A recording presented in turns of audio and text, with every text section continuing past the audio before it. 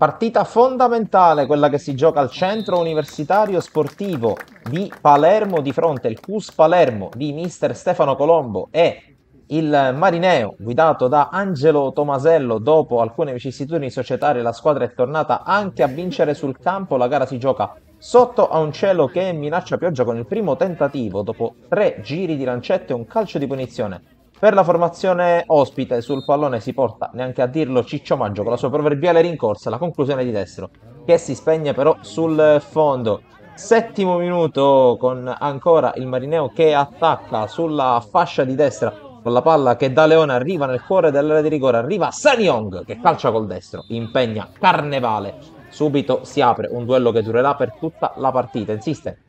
la squadra in tenuta nera col pallone che arriva ancora in area di rigore verso Sanyong, ancora una volta Carnevale si oppone e nega il gol del vantaggio alla squadra ospite che attacca a testa bassa. Ancora sul versante di destra, questa volta con Mondino, accelera l'ex della Don Carlo Misimeri che poi prova a stringere col sinistro sul primo palo, pallone sul fondo. Primo attacco da parte del Cus, subito pericoloso perché c'è un calcio di rigore, tocco di mano abbastanza maldestro da parte di Maggio, tiro di 11 metri per il Cus Palermo. Dal dischetto va Alioto, la concentrazione del centrocampista che si fa neutralizzare il pallone dal specialista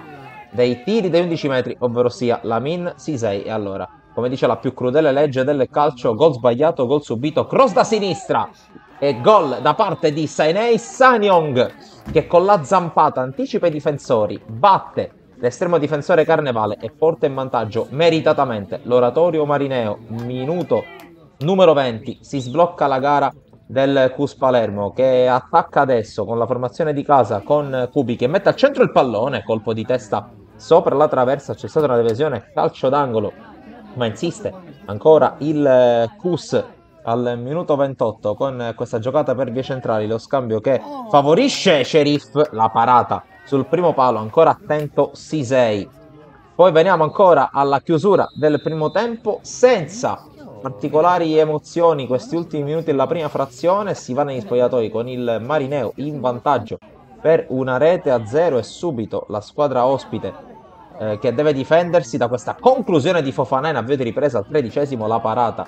in due tempi da parte di Lamin Sisei poi minuto 65 ancora un calcio di punizione per la squadra di Tomasello va ancora una volta Ciccio Maggio sul punto di battuta, i soliti passettini, la palla che scende questa volta troppo tardi rispetto alle speranze del capitano del Marineo, Marineo che poi va in contropiede, minuto 67, l'avanzata, poi il tocco ancora per Sainei Sanyong e il gol del 2 a 0 da parte dell'oratorio Marineo che raddoppia a metà ripresa, gol pesantissimo nell'economia della partita che spezza le gambe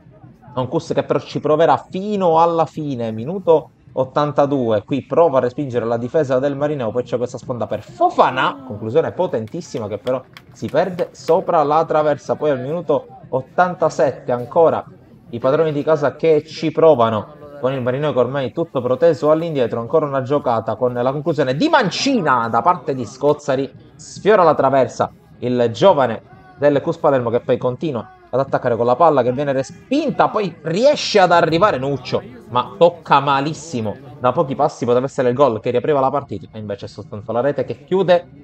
le ostilità 0-2. Vince l'oratorio Marineo, seconda vittoria consecutiva per gli ospiti da Sportisile è tutto, alla prossima.